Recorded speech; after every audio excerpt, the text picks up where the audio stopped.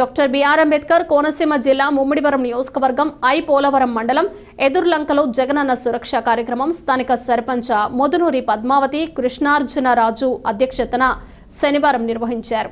ఈ కార్యక్రమంలో జడ్పీటీసీ ముదునూరి సతీష్ రాజు వైకాపా మండల అధ్యక్షులు పిన్నమరాజు వెంకటపతిరాజు స్థానిక డిప్యూటీ తహసీల్దార్ బాషా పాల్గొని మాట్లాడారు. అనంతరం లబ్ధిదారులకు సర్టిఫికేట్ను అందజేశారు. ఈ కార్యక్రమంలో స్థానిక నాయకులు అధికారులు పాల్గొన్నారు.